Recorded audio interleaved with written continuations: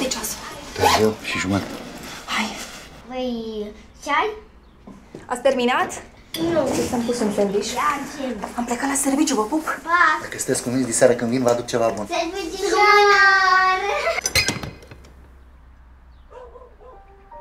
Un copil pe săptămână arde în România. Nu-ți lăsa copilul singur în casă.